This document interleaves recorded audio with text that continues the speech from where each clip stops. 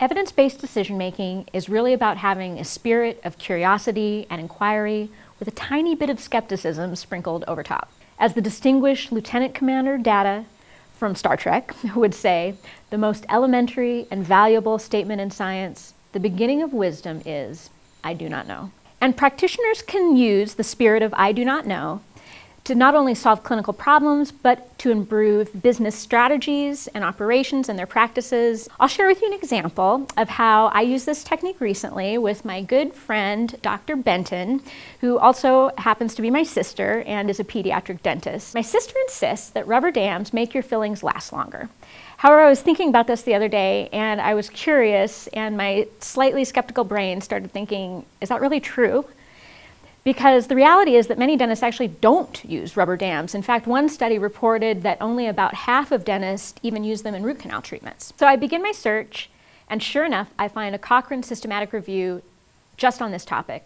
The review includes four small trials totaling 1,037 participants and found that in fact using rubber dam does improve survival time of restorations compared to cotton roll isolation.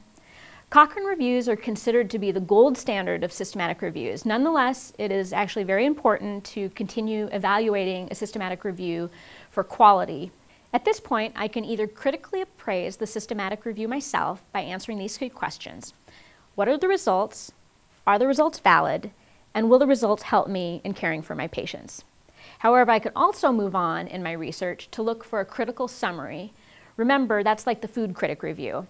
Food critics go to restaurants on your behalf, and with their extensive knowledge of the culinary arts and restaurant tourism, they evaluate and rate the quality of the food, ambiance, and even service.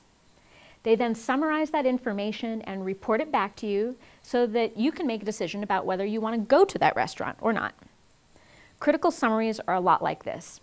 People who are highly skilled in research design and statistics read and evaluate the scientific literature on your behalf. In this process, they rate the studies on their level of quality and bias. They summarize their findings and report them to you so that you can make a decision on whether you want to implement that in your practice or not. Examples of pre-appraised evidence are critical summaries and evidence-based guidelines. Critical appraisal is a very important step in the practicing of evidence-based decision-making as all research is susceptible to bias and flaws.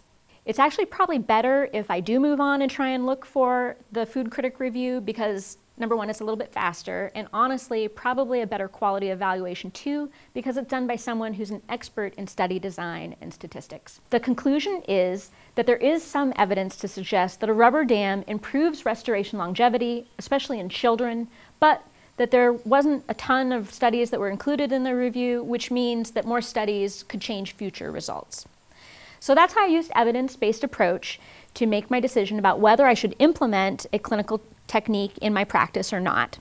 But you can really use this approach for lots of different things in your life. Like for instance, if you're wondering what type of material you might want to use in your practice, or if you should order a diagnostic test for one of your patients, or maybe you're considering buying a new piece of technology for your office, you can use that approach to decide whether that would even be a good investment for you. Another way I like to apply evidence-based dentistry is to help me in improving efficiencies within the operations of my dental practice. With many people working in a dental office, sometimes it happens that providers have different philosophies of care, and this can be really confusing and frustrating and stressful for both patients and staff, and in the end can be very inefficient if every provider is approaching care differently. Developing clinical care guidelines for a dental practice can help promote efficiency and continuity of care. An example of how I did this in my own practice is applying systematically into care the evidence-based guideline on antibiotic prophylaxis for the prevention of prosthetic joint infections, or PJI. I took the EBD guideline that was released recently and summarized it into a formal written policy for the practice to follow. Based on the EBD guideline, it says it is the clinical practice of Sprout Oral Health to not prescribe antibiotics prior to dental procedures for patients with prosthetic joint implants for the prevention of PJI.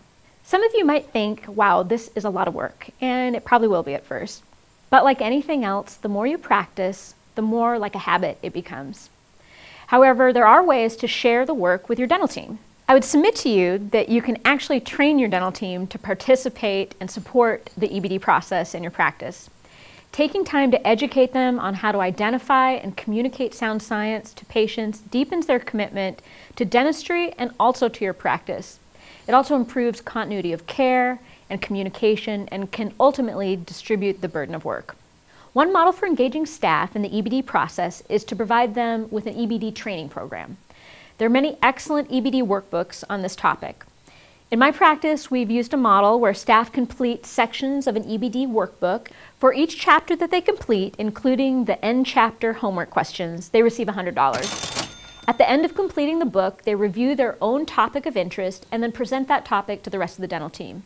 For that, they receive another $100. By the time they've completed the entire training program, they've received approximately $1,200 and they're empowered and articulate and most importantly, can help patients and family understand the science behind what they do. It's really fun to watch their transformation. So, as a recap, searching and appraising evidence is a skill, and like any other skill, you build speed and proficiency with time. The skill has a wide application, including answering clinical questions, improving practice efficiency, Evidence-based decision making can also be supported by your dental team by teaching them how and where to find reliable health information and how to communicate complex concepts to patients. I hope that you've enjoyed what you've learned and that you're one step closer to the wisdom of I do not know. For more EBD resources, visit ebd.ada.org.